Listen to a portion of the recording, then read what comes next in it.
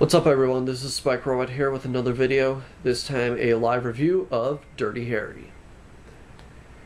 Dirty Harry is an action crime thriller movie that was released on December 23rd, 1971. This is one of Clint Eastwood's most famous movies. Does it deserve that reputation or not? This review will answer that question. I will start, as always, with the story. The story follows Police Inspector Harry Callahan, who has a very aggressive approach to police work, willingly using his 44 Magnum, the most powerful handgun.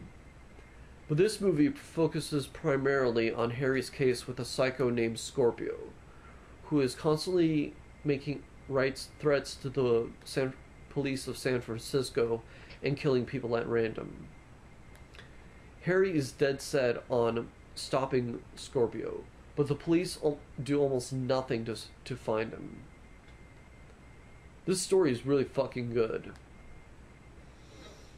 There are actually quite a few movies that have the protagonist not be all that interesting and even be kind of bland and have the antagonist be the most entertaining part of the movie. Hell, Hell, there there may even be times where you might actually sympathize with the antagonist rather than the protagonist. But Dirty Harry is not one of those movies. As a matter of fact, it's the complete opposite. The per- the protagonist, in this case, it's Harry, is by far the best character in the fucking movie. He is so relatable. Well, and he is anything but prejudice. It does does not matter what your race is. If you if you do something if you do something fucked up, he will call you out on your bullshit. Last but certainly not and last but certainly not least, he's just a badass, especially with his 44 Magnum. The antagonist in this case Scorpio is not likable at all. He's a fucking sociopath. His evil acts are not even entertainingly evil. They are straight up horrible. You are a sick motherfucker if you think that it is delightfully evil that he hijacks a school, a school bus and basically threatens to kill the bus driver if she does not go where she wants him to go, and is even meaner than any bully when he, to the children on the bus. That is something that a terrorist would do.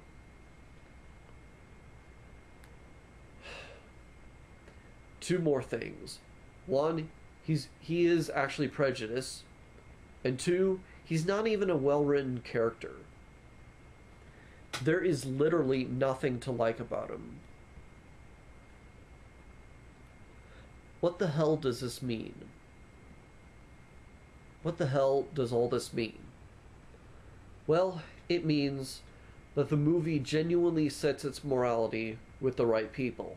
The reason I pointed out so many fucking times is because I feel under people underestimate how important this really is.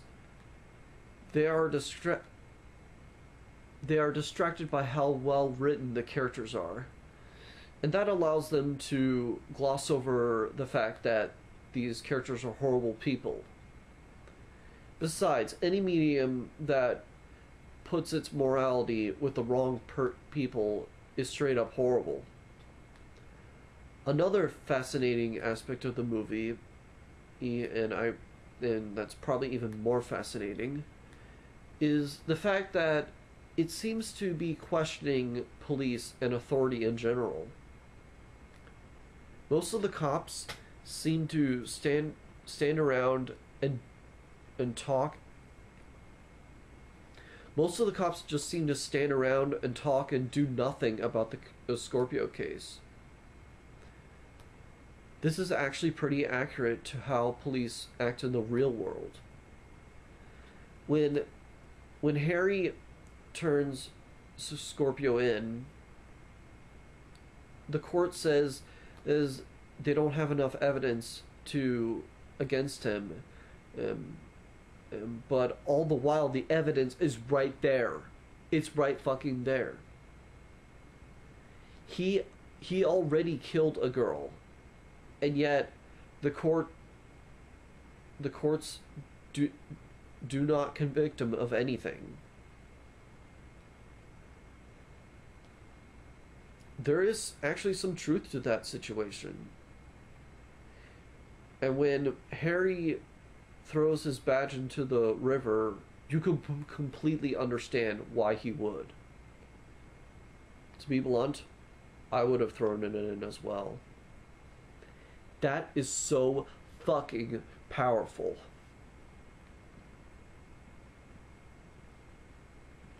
But why does he choose to stay in the police business? Well, even he doesn't know the answers to that question. Now, as an action movie, it has a satisfying, albeit not very organized, amount of action, mostly consisting of gunplay. Not that there's anything wrong with that. In fact, I love the hell out of guns. And hey, what makes the movie better is it has a kind of raw style to it. Even for 71. As for the production values, the cinematography is pretty good, the editing is competent, the art direction the art direction is all right. The music is also all right. Um, on the one hand, it does have some 70s urban style music, which works pretty well with the atmosphere. On the other hand, there is not a whole, whole lot of it. it. But then again, this is kind of more of an understated movie to begin with. But I will say, I love the ending score. It sounds somewhat somber. Overall, Dirty Harry is a pretty good movie. With an excellent story, with a unique style, and a satisfying amount of violence. There are, the downsides are the fact that the movie can be a little too slow at times, and the production values is are not really amazing, despite some high points.